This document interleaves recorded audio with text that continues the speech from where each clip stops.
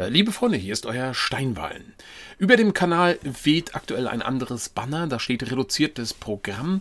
Da ist nichts Unvorhergesehenes passiert, sondern das ist ganz planmäßig. Diejenigen, die den Kanal schon äh, länger verfolgen, wissen das vielleicht. Ich mache einmal im Jahr Urlaubspause, einmal im Jahr Gamescom-Pause und einmal im Jahr Baustellenpause.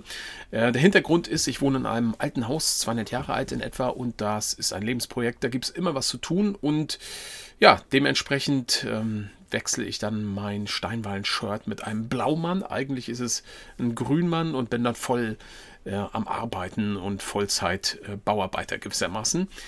Das ist jetzt auch schon wieder der Fall. Ich bin aktuell auch quasi schon mittendrin und insofern ist an normale Aufnahmezeiten und so nicht zu denken. Deshalb ein reduziertes Programm. Wie sieht das aus? Die normalen Strategie-Let's Plays, ähm, die pausieren. Was weiterlaufen wird, ist das gerade begonnene Pathfinder Kingmaker. Ähm, es gibt auch einen Programmkalender, wo ihr das euch nochmal genau anschauen könnt. Den erreicht ihr übrigens hier oben rechts. Da gibt es einen kleinen Link oder in jeder Videobeschreibung. Und da kommen wir dann auf diese Übersicht, die ich immer aktuell halte. Und ihr seht, Pathfinder wird täglich laufen. Ich habe mir eigentlich vorgenommen, bis zum Wochenende, jetzt bis zum Sonntag, auch Doppelfolgen zu schaffen. Ich weiß nicht, ob ich es hinkriege. Ist im Moment alles ziemlich stressig. Aber ich versuche es. Danach wird es dann tägliche Folgen geben und ab dem 11. Oktober ist dann alles wieder im Lot. Dann geht es mit den normalen Serien weiter.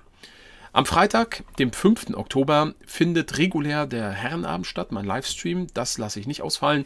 Äh, das wird da sein und äh, wir werden mit The Council weitermachen. Mehr gibt es nicht zu sagen. Ich bitte euch ein bisschen um Verständnis dafür.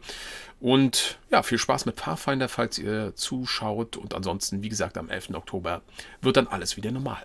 Bis dann macht's gut. Euer Steinwall.